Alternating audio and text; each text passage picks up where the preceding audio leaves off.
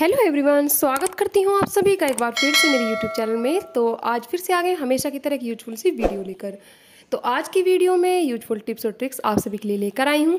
तो चलिए देख लेते हैं आज का मेरा पहला टिप्स किस चीज़ को लेकर है। तो मेरा सबसे पहला टिप्स है, देखिए इंक के दाग को लेकर। कोई भी बच्चों की स्कूल यूनिफॉर्म हो या ऑफ़िस की शर्ट हो, अगर कभी इंक का निशान लग जाए तो उसको किस तरीके से बहुत ही आसानी से आप साफ़ कर सकते हैं।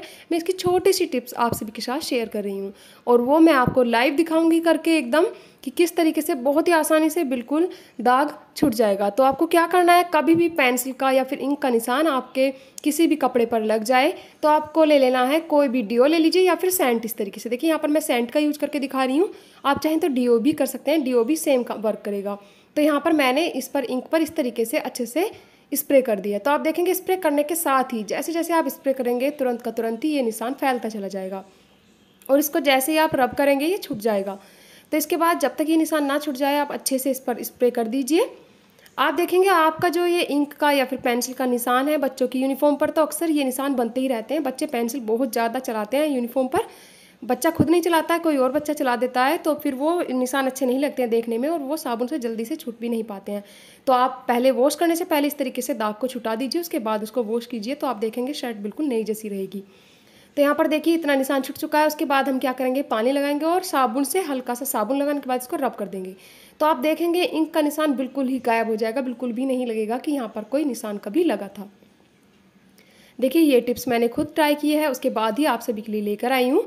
तो ये बहुत ही अच्छा वर्क करता है, आप भी ट्राई कर सकते हैं। कभी अगर आपके साथ ऐसी कोई प्रॉब्लम हो कि इंक का निशान आपके किसी भी कपड़े पर लग जाए तो आप इजीली उसको इस तरीके से छुटा सकते हैं। ये देखिए, मैंने आपको लाइव करके दिखाया है कि बिल्कुल हैंकी से इंक का निशान एकदम गायब हो गया है और हैंकी पहले जैसा एकदम बिल्कुल चमकदार हो गया है। तो ये था मेरा इंक के निशान को लेकर टिप्स। चलिए बढ़ते हैं मेरे दूसरे टिप्स की तरफ़। तो दूसरा टिप्स भी मेरा बहुत ही यूजफुल होने वाला है। देखिए, छाता अब हमारी ज़रूरत है बरसात के मौसम में। तो इनको रख अरेंज करके रखना भी बहुत ही एक मतलब ज़रूरी काम होता है। और हमारे छाते सेफ्टी रखे रहें। उसके लिए आपको क्या करना है? ये पुरानी जो सॉक्स होती हैं तो ये देखिए, ये सॉक्स किसी यूज़ की नहीं है, ये ख़राब हो चुकी हैं, कोई मतलब एडी से कट जाती है या फिर किसी की इलास्टिक लूज हो जाती है तो इन्हें फेंक, फेंकी बिल्कुल भी मत, आप इन, इन्हें छाते के कवर के रूप में यूज़ कर सकते हैं।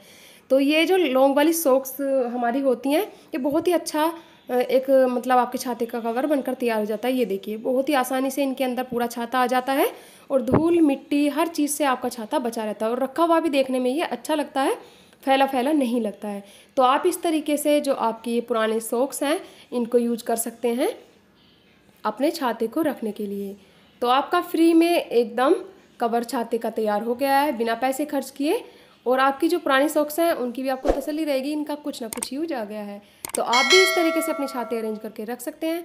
तो चलिए, ये थे आज की मेरी टिप्स और ट्रिक्स कैसे लगे कमेंट सेक्शन में ज़रूर बताइएगा। कल फिर मिलूँगी एक यूजफुल वीडियो के साथ। तब तक के लिए bye bye take care thank you so much